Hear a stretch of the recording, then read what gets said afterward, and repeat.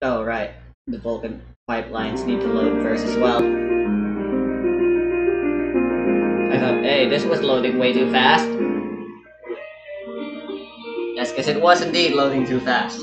There was another loading screen.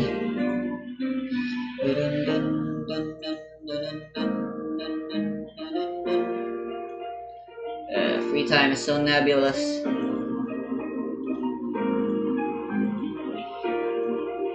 Felt like you're spending your free time wrong and that there's a right way to spend it?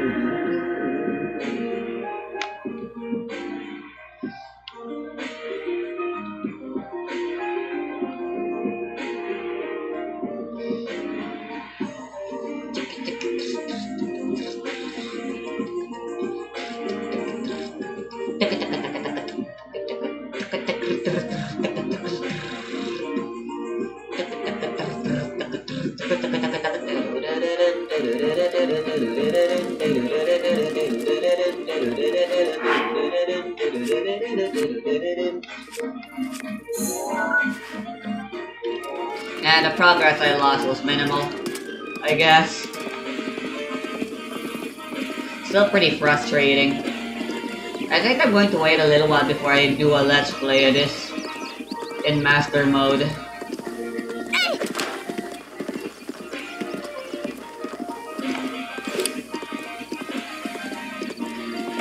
Because as it currently is, it's way too broken.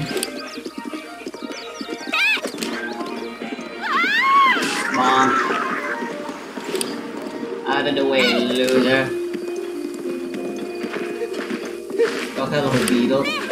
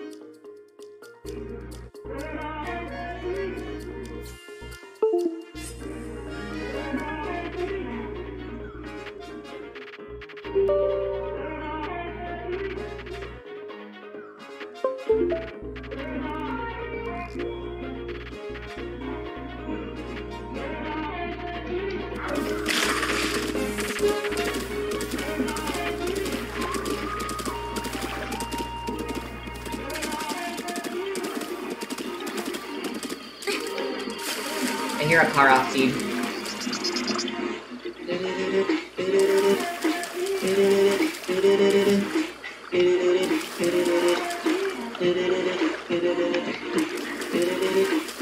There you are.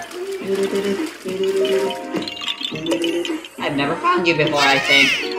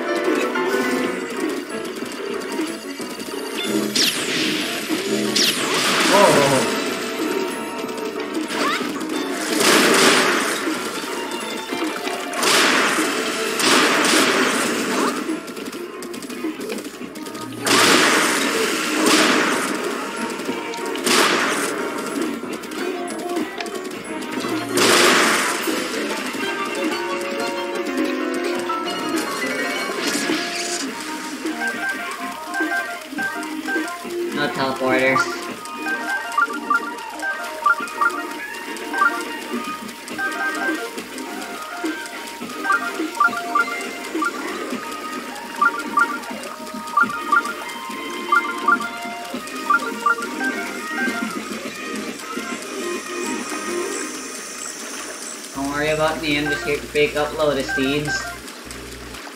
Unless you have a problem with that, then I don't know what the fuck I should do with you.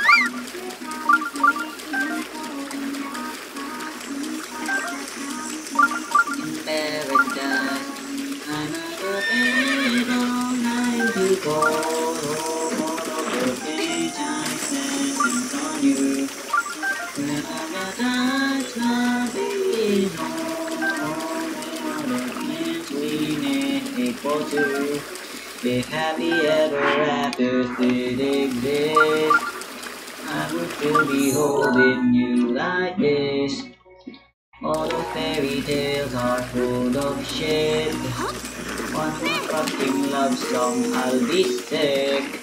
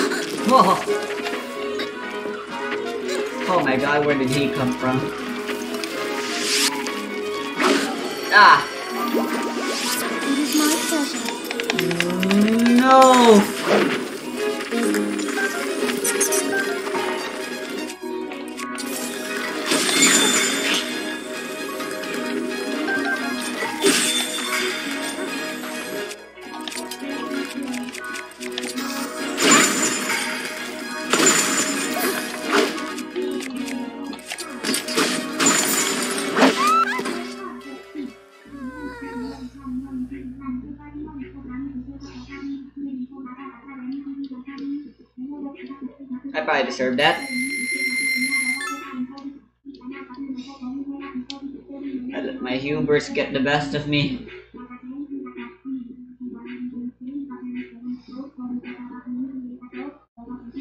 Uh, losing the skills suck.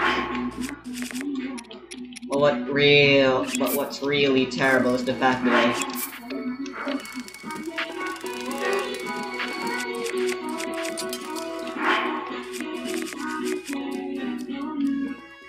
all the souls I lost. Excuse me? Alright.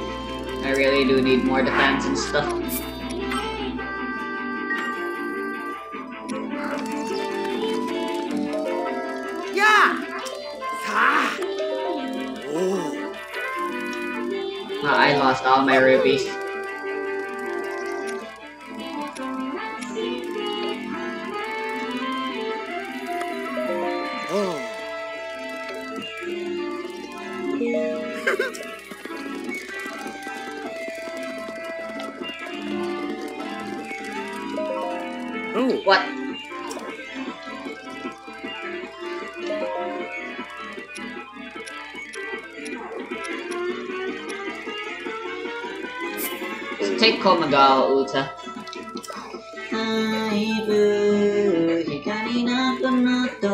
Oh. I might be getting onto a few dangerous territories, and if that's the case, I'll need health rather than speed. Wouldn't want Hikari dying.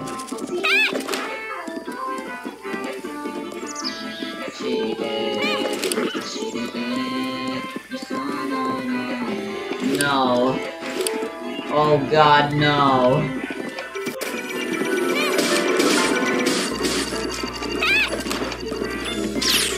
How do I stand corrected? Oh god, how am I gonna...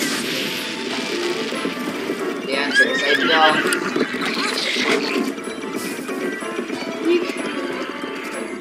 Watch out, man! Oh!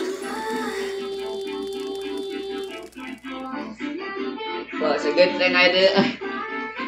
I didn't do anything.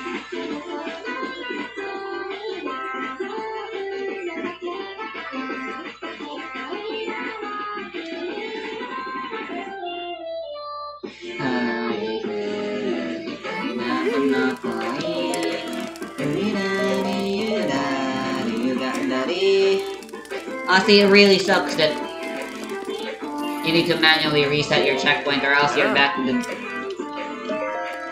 Shrine of Resurrection.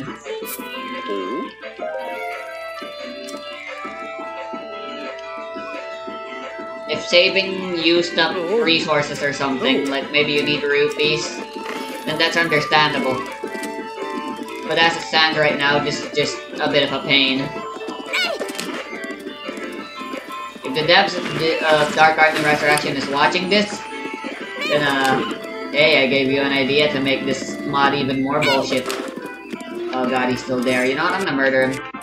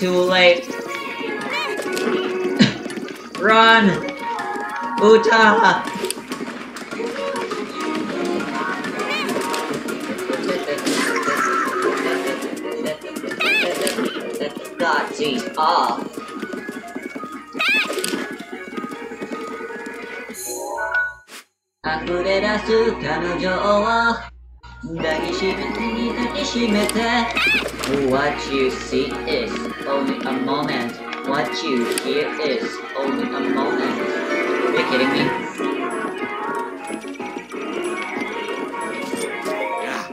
What you see is only a moment What you hear is only a moment Light in the world before everything is gone. We know the world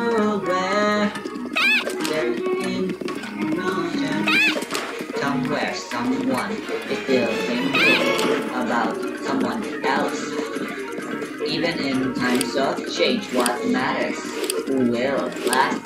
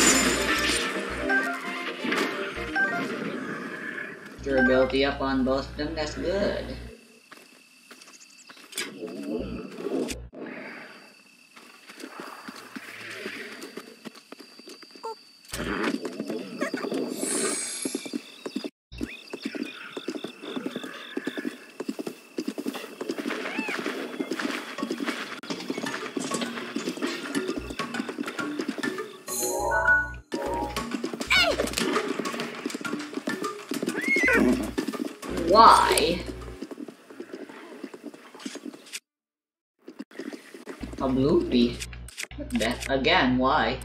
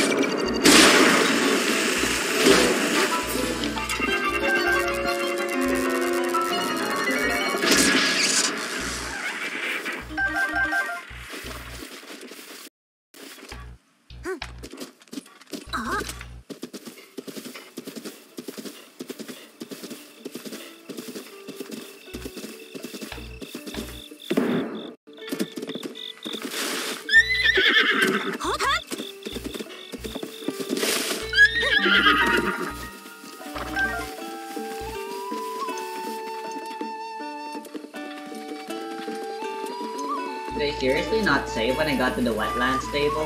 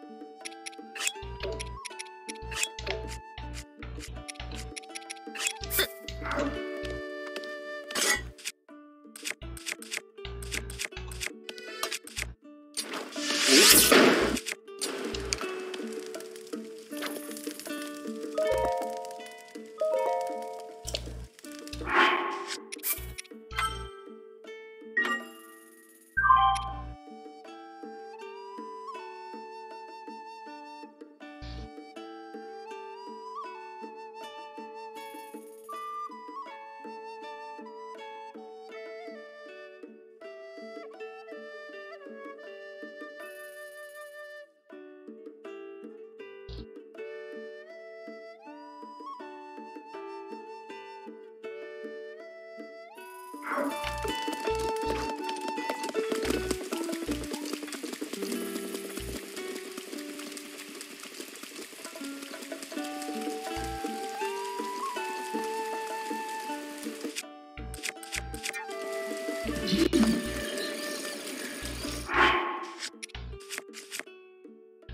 I don't have a treasure key.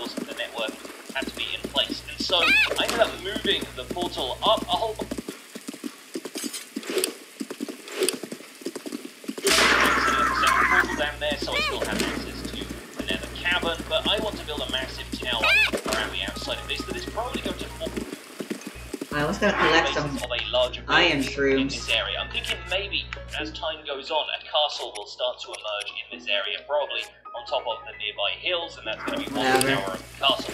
But before we do that, I really do need to work on a surrounding for this storage system, because, oh my goodness, this thing has sort of been a thought in my side for a little while now, and I wanted to get that taken care of. Luckily, I have a plan in mind already. I have a plan for a much larger build that's going to go here, and this is only the beginning. I sort of don't want to show you the rest of it until we get into the time lapse. But I've been doing a bit of drafting. This is it with the blocks rendered in a more solid looking way so that you can kind of see the idea that I'm going with here. And a lot of it is more about texture than it is about depth and, and creating depth using blocks. I think we're going to have a fun time building stuff like this. But I've been gathering a bunch of materials off camera because while this all looks like stone, and ignore the floating island and stuff to the side, there's a couple of things further up that need our attention and need some more specialist blocks. Plus, I did end up trading a lot of my deep slates to Joey, so we might need to go and get a bit more of that. But it'll be nice to walk on in here and then walk straight down into the crypt to get our supply, and I think we might be able to dress up the outside of this a little bit better as well. The the interior of the exterior, I guess. Uh, we'll see. We'll see how that goes. But for now, I think I've got all of the plans in place, so it's time for the ん?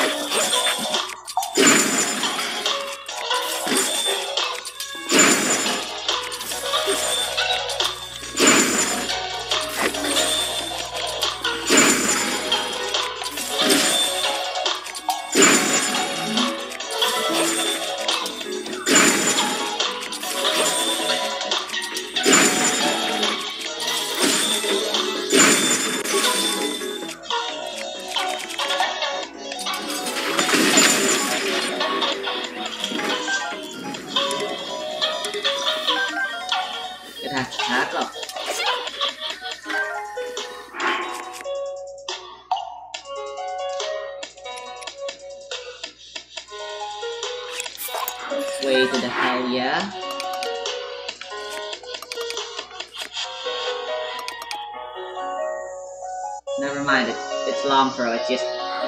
I forgot guardian swords are stronger than broadswords.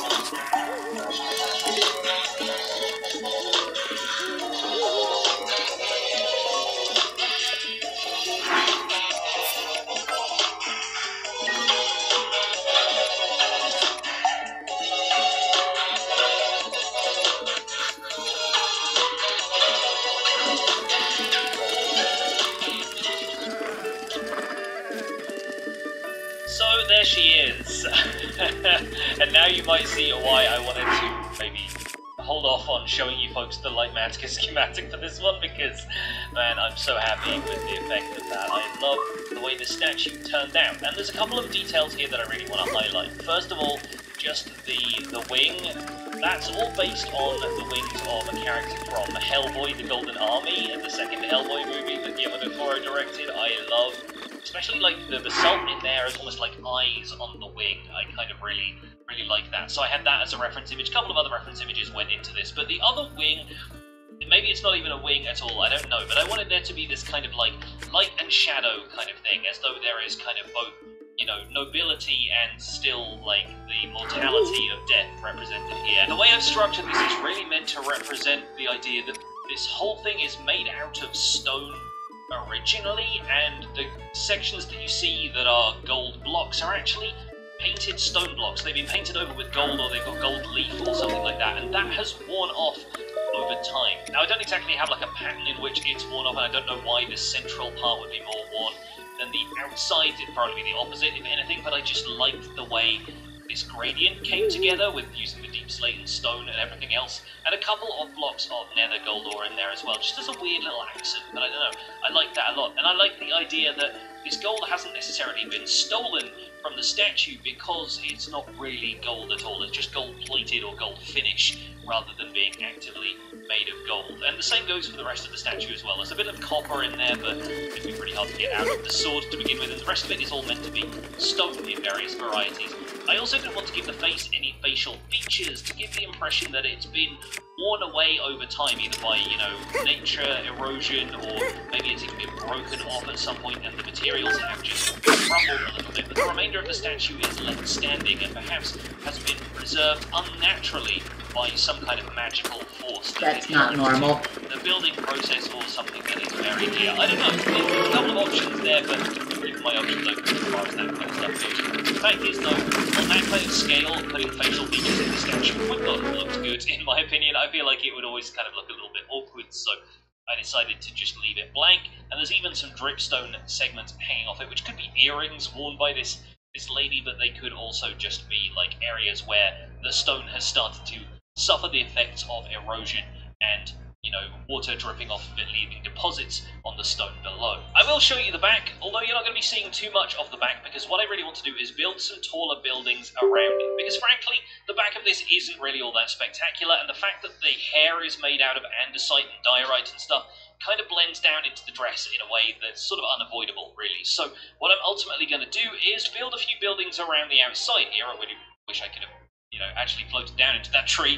Uh, I'm going to build some buildings around the top here, or maybe have like a a short path that goes around the back, but you only really look up towards the wings. You don't really see the bottom half of this too much because it's just a mess of stone. Ultimately, it's got to look like a dress, but in the end, it's not especially pretty from the back. And speaking of pretty, the inside needs a little bit of work as well, because this still just leads down into this cave system that would lead down into my catacombs. I want there to be maybe a tomb that's been pushed to one side or something, revealing this passage below. I kind of like the idea of there being drag marks on the floor as well. I'm going to see if I can get something like that on the go. But the inside of this, it's a largely plus-shaped design. It's not really all that special, and if anything, the pedestal itself turned out pretty basic looking compared to what is above it. And I like that. This really draws the attention and allows this to just kind of be a standalone, fairly straightforward stone build. But I hope you guys enjoyed the time lapse, and our Angel of Death or Protector or whatever she is is now in place. So I'm going to get a bit more stuff done on the inside of here. Going to remove the landscape, do a little bit of dressing up on the inside. Let's see how we get on. And after that, the catacombs got an upgrade. I still haven't finished decorating all of these areas quite yet, but behind the scenes here, I have set up item filters for each of the major groups of materials that we've got going on here, at least the major blocks, because I haven't really got room to put in a filter that's going to filter items by category, but I do have single item filters for all of the blocks that you see here on the floor. And the cool part about this is that we can drop stuff in from above into water streams, and that's just going to go all the way around here, meeting every single hopper as it goes in one connected system. And I start to put in the water streams, I still have to put in ice blocks and stuff and slabs to make sure that all of the items can continue to transfer properly. But fingers crossed, this should be a simple enough system to set up because it's all in a regular pattern. I designed this whole layout so that it's sort of in a, a H kind of shape with the two arms on either side leading out to different tombs. This one here for the valuables is all going to be manually sorted, and there's going to be manually sorted storage around here as well. But that chest in particular, and this one above it, are of particular interest. Because if I get up in here, I think this is where I put the other entrance. Yep, there we go. We can go all the way around here. This leads to all I of the lowered my stone types and FPS like limit. that. So right over here we have things like the uh, deep slate, and the black stone, the tuff, and everything is going to go in there. And then as we come on down here, we get to the wood section. And the wood section is basically the last stop on the tour for all of these items as they go around. But of course, we need a place for the items to go when they don't have a home in our storage system. So these last three are the nether wood types. It actually skips over the last three chests because they are the wood facility. And then That's it reaches 30 the end here where it gets deposited into That's pretty consistent. hopper, basically the overflow for all of the Wow, this Let's make the it, and would you frame rate for It's right here in this corridor. So basically, all of the items that don't get put into the system, anything that isn't sorted by the normal Zelda on the Switch. Ow. Shit, I swear I dodged. It is Well, my at this point, I've pleasure.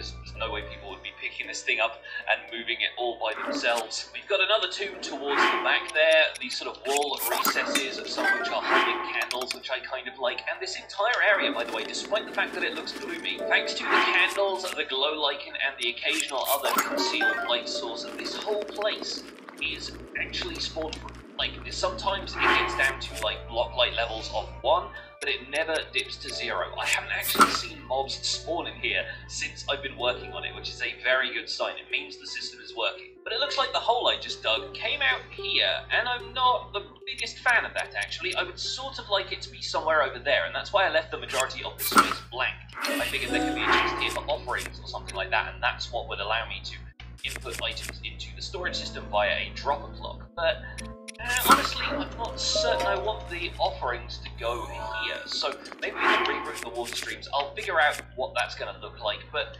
I really, really like how this came together. As a storage system, it feels quite unique, but it still includes a lot of the modern features that I like to have in storage systems, like the ability to sort some items automatically. But aside from hooking up the automation, hooking up all of those item filters, yeah, I was concerned this was going to happen. I want to have a room here for the valuables. You know, the diamonds and gold and everything, all of the stuff that I'll probably want to keep handy is going to be right opposite the entrance, which, yes, I know opens me up to by one block if I wanted to, so I can scrape a little bit more space out of here. Alternatively, we can have the stairs rise. Why does so a bow have long throw? more like here, and that way we can avoid accidentally cutting into the water streams at the back there. So if our offerings chest was Literally here, for worthless. example, where does that take us down? Honestly, that's not too bad. The items could go this way, hit the wall over here. Water streams can carry the items. Yeah, Okay, so we're going to operate on the assumption that I should be able to get that working. We'll have a dropper clock feeding the items into the water stream. We'll close up this one here, and I think the chest over on that wall should be good to go. A short time later, our water stream is in place, and this place will forever be haunted by sound. Really no. Way too many hoppers.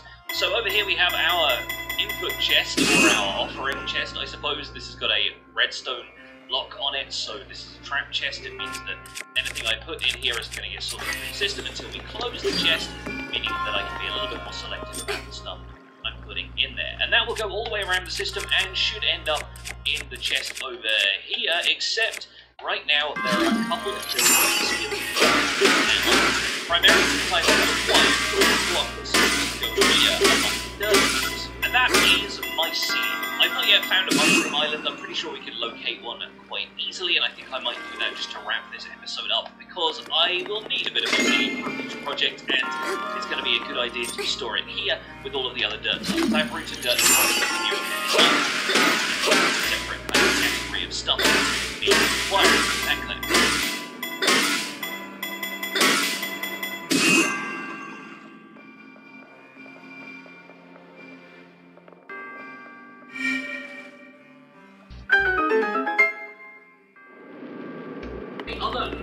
discovery I found, or at least you know, something I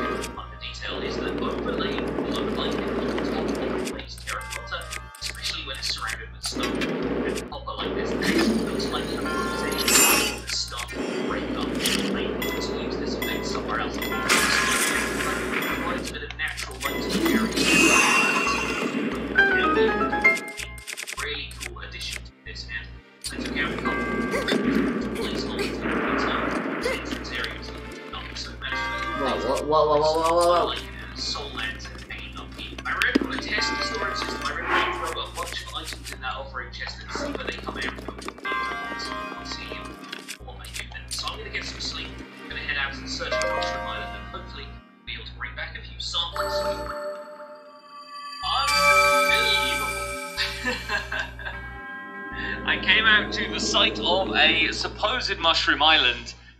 Oh, that's Wow. good. And this is what I found. I better put a glass case around this. Someone's going to have to preserve it. I mean, really? Oh my goodness. Well, uh, yeah, I got a ghast head while I was in the nether. I need to probably grab some dirt from the surroundings and start replacing some of the blocks. this is an endangered habitat, basically. Yeah, let's dig a couple of blocks of dirt here so we can be certain that any mycelium we take from here will end up spreading back to the blocks. And I think we can get a couple of samples here, that's all we'll take, and then we'll try and farm it renewably at home, because this is the only place I've been able to find a mushroom island so far. Yeah, apologies for the flickering of the mushrooms there. We're going to have to do something about that in the resource pack, I think. But one quick nap on the seabed, and I should be on my way home. And in the end, all I did was bring out some of the dirt that I'd been converting into mud, and leave it out here to convert into mycelium instead. A couple of seed blocks, and we have renewable mycelium, which is going to be perfect, actually. I'll need a lot of mycelium for a later project, and this is just going to be so much more convenient than going out to other mushroom islands or finding out that poor little mushroom island out there in the middle of nowhere and just completely destroying it. No, I think it's a lot better to have a renewable mycelium back here. Hopefully, those things can be preserved. So what I've done is I've gone ahead and added the mycelium to the system now that I was able to farm a little bit of it. And now our offerings chest over here on the left-hand side can have a bunch of stuff added to it. Let's throw in some netherrack and some mycelium. When I close this, the hopper clock will start to run, and all of the blocks will head down here into the system. I can go into free camera mode to show you that there are water streams There all the way around here, and I line them all with copper so that it can slowly age over time, and it will definitely be a block that if I mine around here, I will know not to break. Otherwise, the water streams are going to spill out everywhere. But all of the mycelium should now be ending up in this chest here. As you can see, it's all filtering down there quite nicely. The netherrack, however, does not yet have a place in the system because I'm going to store all This of the blocks from the kit. nether in a downstairs area of the tombs manually, along with the end and probably the sculk stuff is going to go on this side. So the nether on that side, sculk on this side. And this chest right here has now received the netherrack. So because there are two hoppers behind here, it kind of splits the output there. So we ended up with six netherrack in the top chest and ten in the bottom chest. But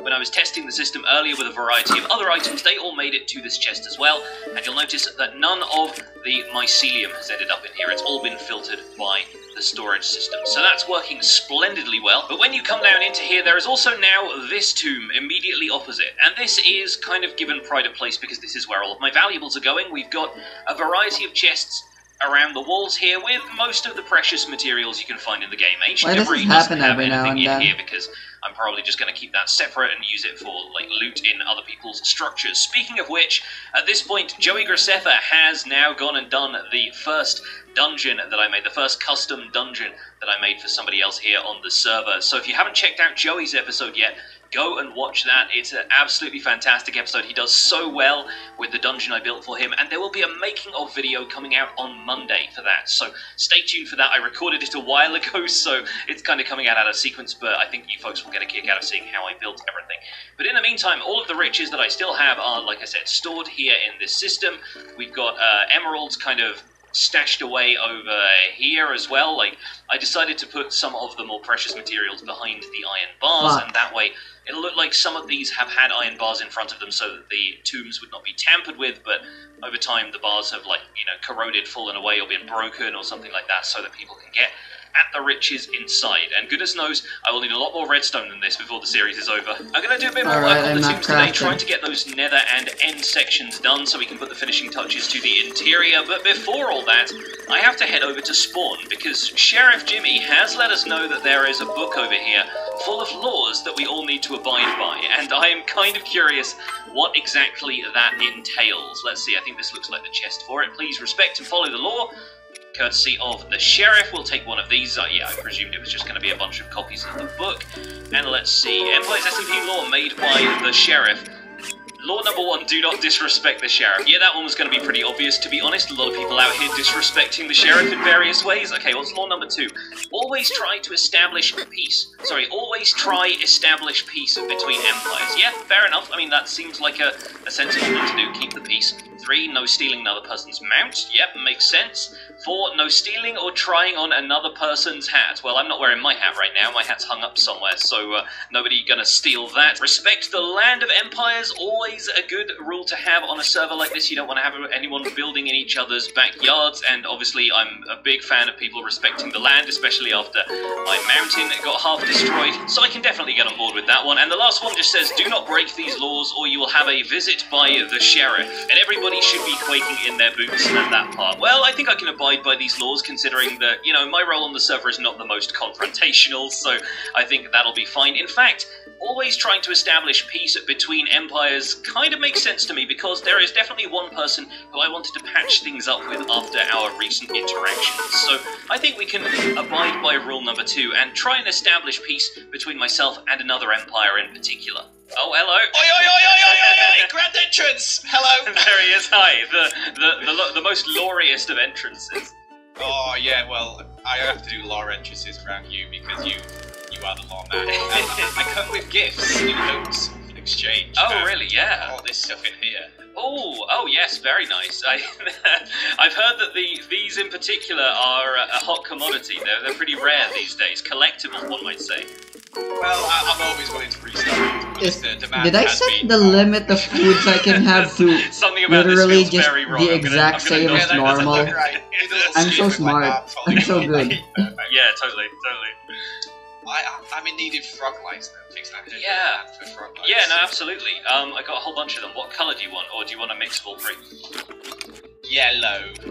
Yep. Gosh, I have two stacks? Is that okay? Yeah, absolutely. For all the stuff you brought over, definitely. Like, I, as you can probably tell from around here, I need lots of moss. So the fact that you've you've Yeah, well, sweetened the deal with some moss is very, very good. I have a moss farm, so if you ever need more. Oh, perfect. Yeah, I, I was I was I'll probably stop going to end up cooking making stuff one at and- some point, but if you've For my third then- divine business, what I'm gonna do is uh, decrease yeah, my I feel like inventory this has- limit. This has fostered peace Sell between some our stuff. empires in a weird sort of way, Oh, and it has. Sell some adhering to the food. law. And uh, yeah, I'll I'll throw in some more moss just in the future in case anyone comes around and don't like, feel like judge or for a lawsuit or something like that. You've, heard nothing. Just uh, remember how nice I am. Are you, are you spelling lawsuit L O R E S U I T or is it L A?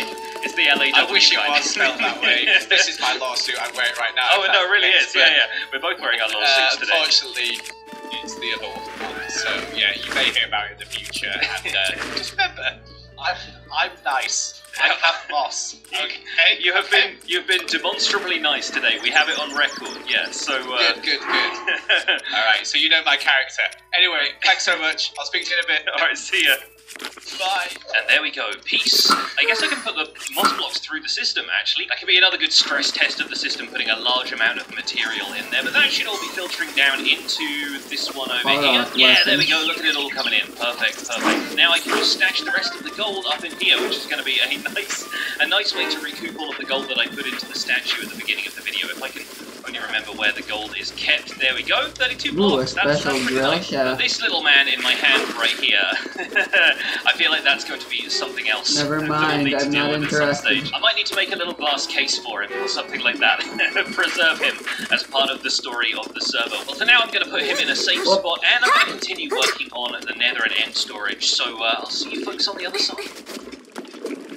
Okay, the details are coming together. I'm pretty happy with the way this is turning out. And there are some areas down here where I expected these lower catacombs to be some of the more gloomy ones, but frankly, you can't really avoid the lights. The way we've got the block swapper set up, some of the lighting blocks, like shroom lights and glowstone over here, they go through the sticky pistons, so even when everything Yep. is concealed by the block swapper that we've been using for the storage system, the light still shines through. So mostly what I've been doing is making sure that there are lanterns and glow lichen in some of these better lit up corners, just so it doesn't flicker too much when we end up swapping the blocks over. But aside from that, a couple of these tunnels and stuff like that, a couple of the different corridors have fallen in. I'm still adding a bit more detail at the intersections, but I liked using a little bit of different glazed terracotta. I don't use these blocks enough, so this is an opportunity to include them. I have been trying to put a bit more detail into each of the side rooms as well, and as you can see down here, this is the side that leads to the end and the deep dark stuff. We haven't really got the deep dark in here yet, but I was thinking maybe one of the tunnels could have been taken over by Sculk, maybe coming up from the machine further down in the world there. But I've got this room here, which is all of the end blocks and the frog legs, because they fit really well with each set of end blocks. Plus, there wasn't really like more than a couple of different blocks of end stone and purpur.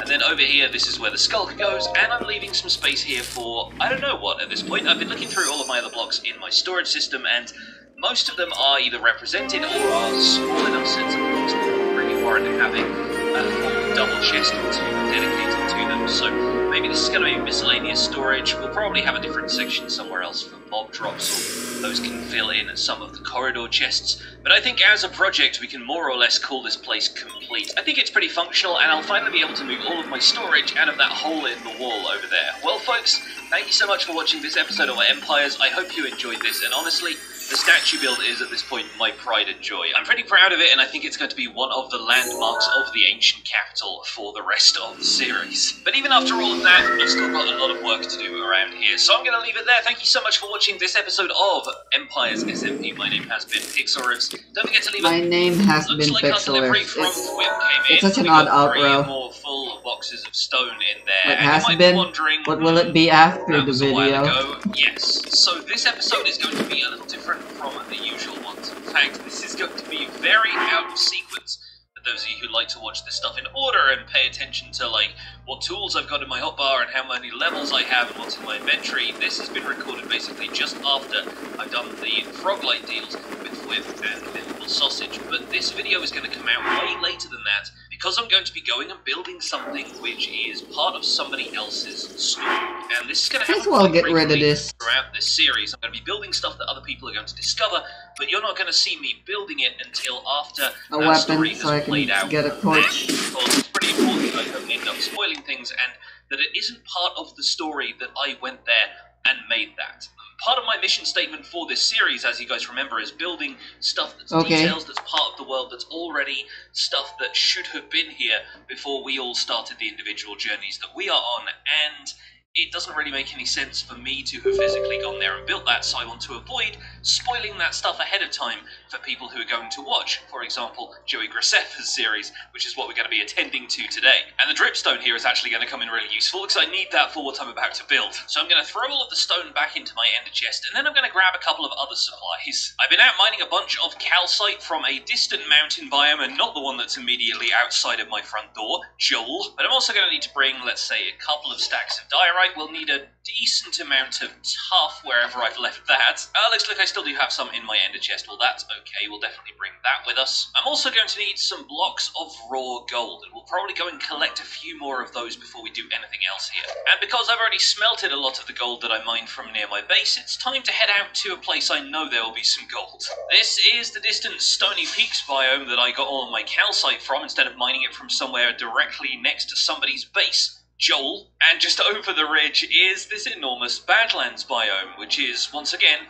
not Jimmy's Badlands. And if we dip into the stone layers, we can be expected to find some gold pretty quickly. So I'm just going to grab a bit more raw gold and then we'll head over to the build site for today's project. And so this right here is the area that I've been preparing for our build. Because Joey wanted a skeleton pirate hideout. And there's pretty much only one way I know of making a skeleton pirate hideout and that is to create a giant skull. I kind of wanted this thing to look a little bit terrifying, so I've been building it in creative for the last week or so, And I've been using a couple of tools to do that. I designed the entirety of the outside of the skull here kind of freehand, correcting a few things as I went. And it's not exactly the right proportions for a human skull, but then are these human skeletons? Like, that's the curious thing about it. But the back half, I ended up learning a bit more about MC Edit and editing in a sphere and, and just kind of cutting it off at the back there. So what you have on the inside is effectively a pretty large cavern that we can fit some kind of dungeon structure into. Luckily, that stone trade with Fwhip has given me all of the materials I need. There's a little bit of mud around the inside of that, there's some tuff and a bit of coal ore and stuff like that, but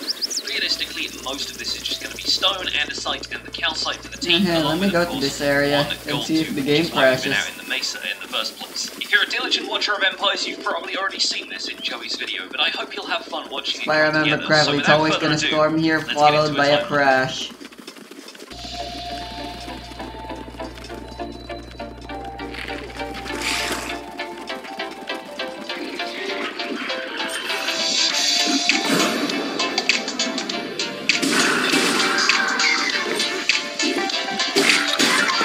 No crash, wow.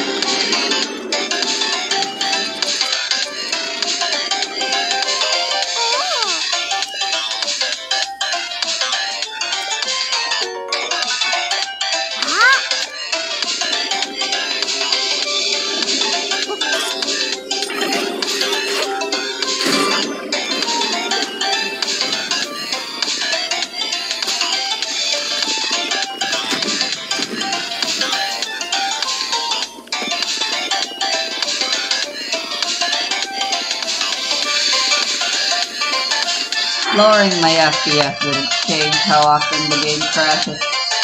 I think I'll go back to 48. I record in 30 FPS, so that won't change how you guys see things, but it'll change how I see things.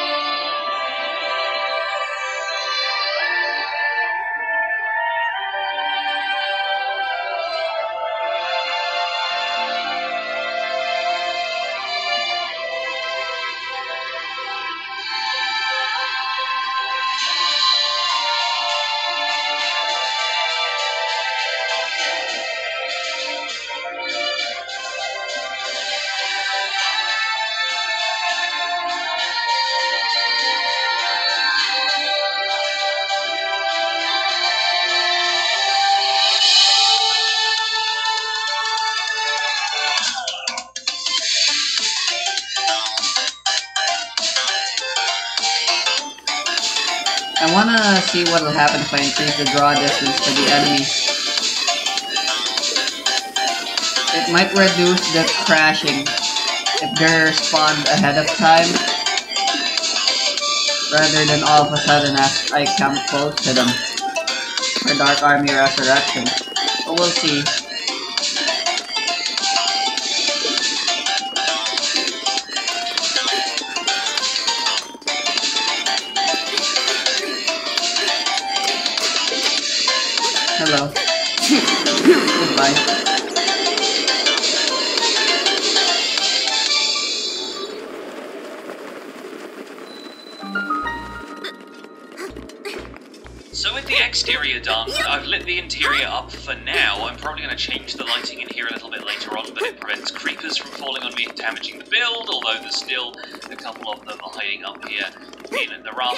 I've started working on the layout of this place, which is going to be quite tricky. It's quite a large space in here, but there's a lot we can do that will fit in. And I wanted to make this place feel a little bit more like a pirate's palace of sorts. I don't know, we can fit some really cool details in here. Starting, of course, with these walls. The docks That was almost down here have got to feel a little bit more opulent, I want to say. They've got to feel kind of like the pirates are flexing a little bit, why I'm using deep slate coal around here. It's not as rare as people think to be quite honest. And we got some gilded blackstone in there as well that I scavenged from the first few bastions I raided. And, of course, chiseled nether brick, which has only added a few versions so it's kind of an underrated block that a lot of people don't know about. You can also get cracked nether brick now, and I was thinking about incorporating some of that, but I think it works really well with still keeping the jungle feel of having mangrove wood around here, but then some of the darker materials in here in a real kind of checkerboard of patterns. So we're going to extend that all the way along. We're going to have a staircase up here, and I'm going to put some skeletons out here in boats so that when Pirate Joe rows on in here, he's going to have a couple of archers to deal with, and maybe we'll position some skeletons up there that fire down on him as he's trying to find a way up. Of course, one of the difficult things about doing anything like this in Is that he could always just camp out there in the teeth and pick them off from a distance with a bow, which is entirely fine. Like, I don't want to design these experiences so that they can only be solved one way unless we're really getting into, like, dungeoneering and puzzles and that kind of stuff. But this is going to be more of an action experience. There's going to be a couple of puzzle elements to it further up, but I think for now, at least, we've got the foundations of something pretty cool. I need to grab a bunch more materials, though, because despite taking down all of that jungle wood, I moved that back to my base and kind of want to get a few jungle wood pieces in here for the remainder of the docks, and then we'll work on using the flat ground up there. We'll probably flatten that out. We'll use as much of the natural terrain as possible to give this some elevation, and we'll kind of come up with a walkway that you can get up to, and then from there, I think it's going to come out into the roof. There are going to be a few sections up here in which maybe some of the more dangerous challenges lie, but maybe the prize is going to be up there, the whole thing will be basically ascend the tower and claim the prize at the top of it. That allows us to fit a little bit of parkour in here as well, and I think we can do something cool with that later. I also need to grab a little bit more raw gold just so I can fill in the rest of this tooth because it looks like it's got, I don't know, like a, a composite filling in there. Once again, these pirates are going to be flexing, and you can't flex with a gold tooth. For all I know, this could just make things okay, worse. enough talking. You get the general idea. Let's crack on with the build. So a little bit of time has passed. A little bit more work has been done. I'm just starting to sketch out ideas for the interior here. I'm really happy with this wall section so far. And what I'm thinking is going to happen is the Pirate Joe is probably going to come in here. Is probably going to have to fight off a couple of skeletons here at the docks, but we'll maybe think to dock his boat somewhere around here. And I might try and shore up that wall a little bit to make sure he doesn't try and go for one of the other bits on the sides here. But once he's fought those, there's a couple of chest boats around here, which he might not worry about checking right away, but if he does, he's going to come in here and he's going to find a couple of shovels. A stone shovel, a gold shovel, maybe here and there. Some pretty basic ones, but something that is going to be surrounded by other loot so that the shovels are at least a little bit disguised. But the shovels are actually going to be the key to solving a couple of puzzles in here. So as we come around here, maybe there will be skeletons kind of hidden underneath this section up here so that he's going to have some stuff firing down on him. Maybe it'll just be, uh, you know, a walkway of sorts. But once you come up here and run along to this side, you get to this little divot at the top of this rampart section of wall, and it is here that he's going to find the first campfire. And the cool thing about campfires is that they have two block states. They are lit or they are unlit, and that means we can detect whether a campfire is lit or unlit and whether that changes by using an observer underneath. I haven't got that in place right now because I'm still not sure quite how the redstone it needs to be wired up. But my thinking is that these campfires, when they are doused using a shovel, or maybe using a bucket of water if you want to do it that way, can activate certain things elsewhere in this build. Whether they, you know, activate certain lights that maybe light the way up to what the objective is of the overall area, or potentially they could even be, you know, things that activate certain ledges. Maybe they push them out with pistons so that a parkour section becomes easier. So if Pirate Joe figures out the way this is going to work, do I have silk touch on my axe? I guess I don't. Well, there we go. Campfire lost there. But if he goes around and extinguishes different campfires around here, it can lead to elements of the parkour being a little bit easier, or potentially lead to other types of treasures. You know, and a section can open up in the wall here to indicate, you know, there's a treasure behind a, a locked door, a piston. I like that idea. I think we're we're going to roll with that. But right now I have to go and grab a bunch more materials for the stuff I want to build around here, and I've also got a live stream to do, so I'm going to head off and pretend that I'm not doing any of this right now, and we'll have to come back to all of this a little later. So I've been working on this project for a couple of days now, and a lot has changed. Uh, the outside is still looking fantastic, I think that's going to be perfect, and inside I've managed to put together a whole bunch of scenery, which is going to largely set the stage for Pirate Joe to raid the bandit hideout. I do have a couple of skeletons already in the boats over here, so I'm probably going to try and avoid them as best I can. Their line of sight is yeah, something to be reckoned with, and they're going to be able to shoot at you basically the entire time you're running around here, unless you end up dealing with them first. So I think it kind of gives you incentive to check out the loot chests that are in the boats. The chest boats are going to be really good for this. Going to take care of some of these drowned in the process because we don't really want them interfering and getting in the boats, which they've done a couple of times actually. But there's going to be a few chests and stuff here on the docks, so that you know you can imagine stuff being loaded in and out of boats. There, we might put a bit of like loose loot inside of there, but nothing too spectacular. Once you go up the stairs over there, I've tried my best to make it so that you can't really parkour your way up to the higher levels, and you kind of have to follow the intended route. Obviously, you could bring blocks and pillar up if you wanted to. That's kind of up to him, really. But if I duck past these skeletons and try and avoid getting shot too many times with arrows, there we go, just one to the backside, I guess. Revised And that's the Gale is now Okay, ready. So you get up to this part here where I'm going to have to deal with a couple of areas that are poorly lit because I don't want creepers ruining the experience either. You get to this point here, and at this point you kind of reach a wall. There's obviously some stairs up here, there's some stairs in the floor, but it seems like they've fallen down here or something is preventing them from creating a path upwards, and it's clear that the path continues from there. So once again we turn to this mechanic with the campfires. I've decided that this one here is going to activate this staircase, basically. So hopefully Pirate Joe takes the hints, douses the campfire, and is going to be able to walk on up here. And from this point, it becomes a bit more about freer exploration. Over here on the left, we have a tower, which is currently where I'm storing all of my shulker boxes and various supplies. We have a little joke, the employee of the month here. I thought that was kind of funny since I have these skeleton skulls, and I figured having skeleton skulls around here as a bunch of skeleton pirates feels a little bit weird, but we'll do something with that a little later. Here we've got some cannons. I'm really happy with this blackstone cannon because it's got the aperture at the front is so wide because it's all stairs. So I think that'd be kind of cool. We got a couple of smaller cannons backing it up to either side. Over here we have another little campsite, and it's here that our second campfire is going to be extinguished, and that's going to create ledges on this back wall that will allow him to get up to the higher level of the cavern here, because right now that sheer wall is preventing you from going any further, and there isn't really a place that you can climb up to it.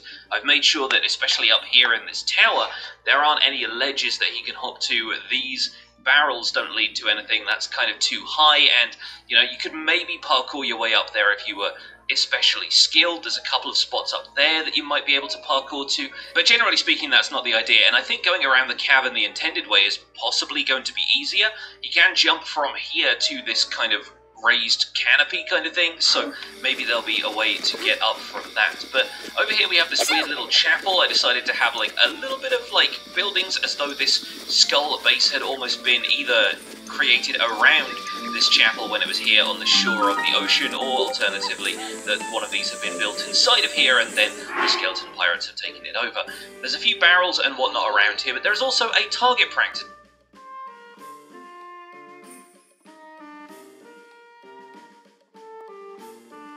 Hello, Hello. what are you doing? Playing Zelda. Why not Genshin? Already did my Genshin stuff. I don't feel I don't feel like doing anything further than just that. Have you finished Shiner's quest? No. Nice. So I think I'm about I'm, I'm like doing the, the, the main story right. I got I finished the domain where I was inside the tomb. Uh huh. Then I needed to go to the uh, Eremite camp. We are friends now, apparently. Yeah. Ah. Yeah, you're actually getting pretty close to the end. Very close to the end. I'm pretty sure as soon as you get back and deliver the village keepers back, then that's actually the end of the story. For now. Nice. Always logging into Genshin. Uh, what day is it today? It's 16. Ah, Abyss reset. Wait, already? Yeah. I thought I was until tomorrow still. My bad. I'm not good. Abyss resets on the half of the month. Black. And you haven't done that. Shall sure we? haven't. Alright, sure. Just let me go get the Master Sword. nice. Oh, let's gonna go eat a little bit more baked macaroni. Nice. Yeah, baked mac. So good.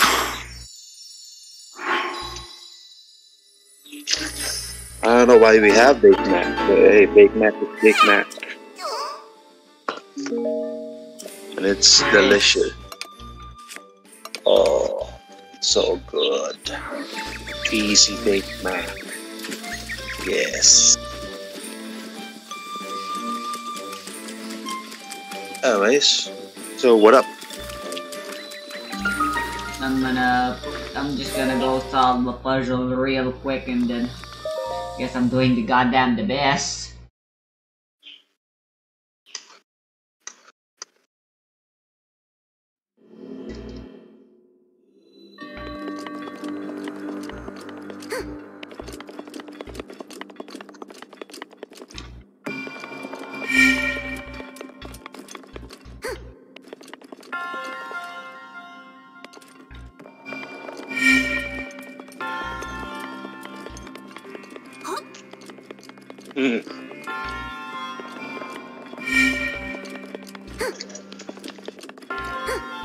The true. Talk to Neko. Yeah, before uh, before I do a bit, I'm gonna do continue the quest. Nice.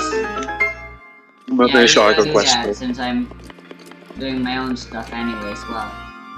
Are you doing your own stuff, anyways? I'm dad. Damn it. I got dad joked. I know. You always do.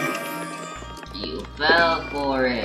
Thunder Cross split attack. You just got Zawaru Raman, we are here. I sure did. Oh, I have a key. Let's see what's in here. So why? So basically, uh, Kusanali is small version of Ru- Ruda Ketaba because she she used power and she grew small.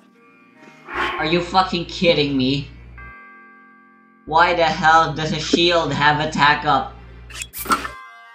So Resty, what you're saying is there are there isn't two Dendro Archons. Yep. This is Oh- the oh, reincarnation. This is how the Dendro Archon decided to deal with her withering thingy. You know, Resty. something all the Archons Resty. are trying to deal with. Resty, What? Resty, like early, like the other day, you said that uh, Ru- Ruda Ketaba, you know, the the, the Dendro Archon is King Deshret, but you, that's not true. I said I said King Deshret, the the Desert King, and Greater Lord Rukkhadevata are betrothed. They're husband and wife, not that they're the same person. They aren't. Where'd you get that wacky idea? I never said anything like that. You want to come on?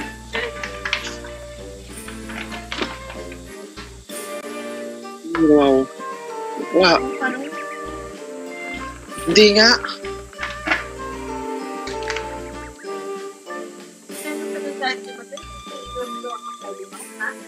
I need to charge the controller. It's blinking. It's about to go low bat. Yeah, it's so disappointing how little how little battery life this controller has. I miss my pro controller. Why did it have to die? Let me try charging it again.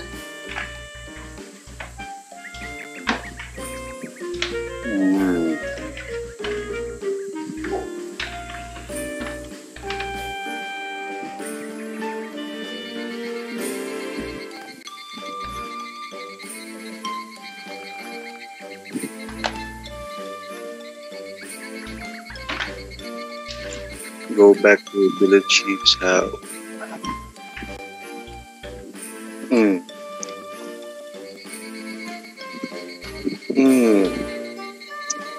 Should we unlock all of the teleport waypoints first before we do shit resting? Yeah, it's probably a good idea, but I'm too lazy.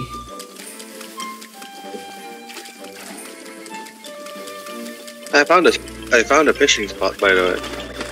In the desert, amazing. Yeah.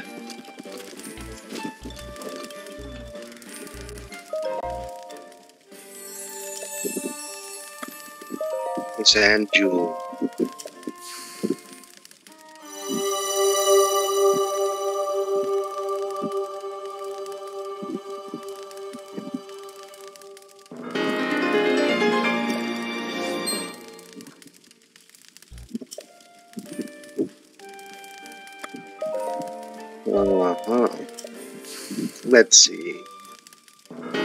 So this place has 40%. I'll do this wind thingy.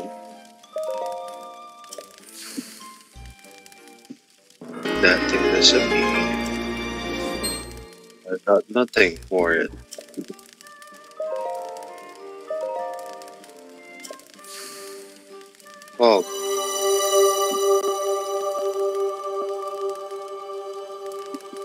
I should probably go to the evil statue and sell off some of my things since there's some of my life points and stamina points since we will definitely get an excess due to this mod. Huh, hmm. some extra money that way.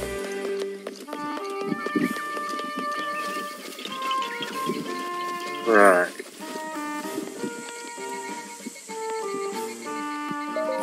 That's a chest.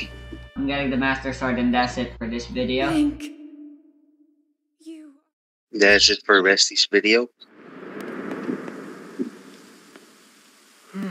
Roll, roll, roll, everyone. Hmm. Yeah, buggers.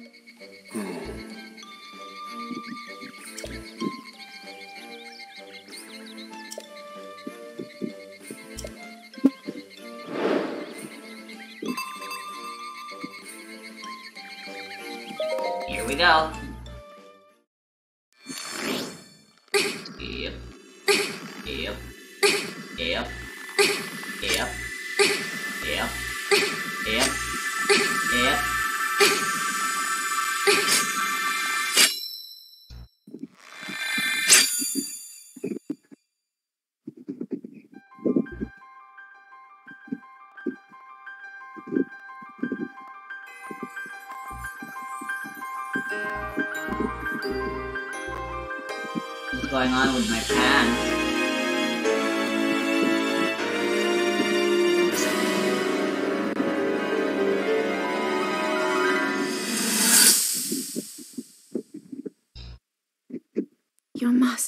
for you.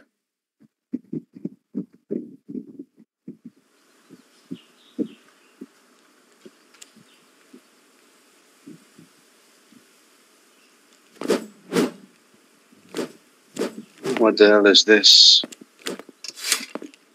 This is a very deep hole, Resty. Nice. A deep desert hole.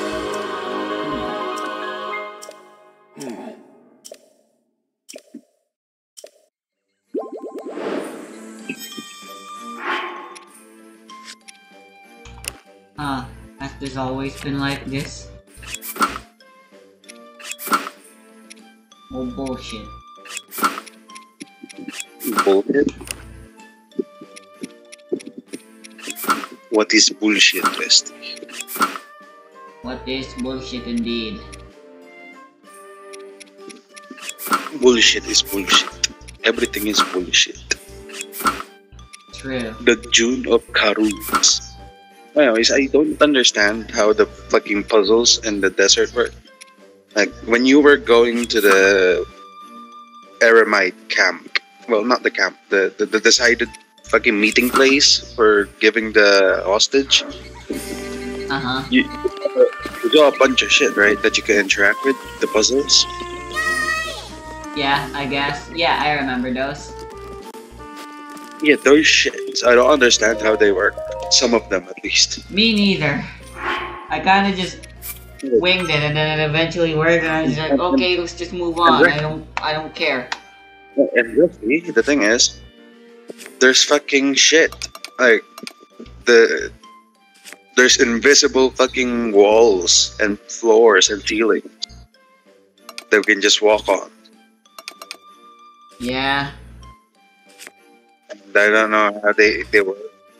We fucking get rid of them?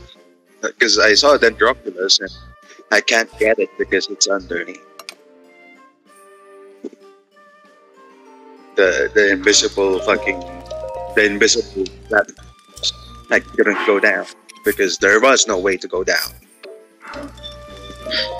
And then I saw a door, and then the door was locked. I don't know how it opens. All I know is that it's got something to do with the shit. Alright, I'm doing the abyss now. And there's some. I tried to interact with some other shit,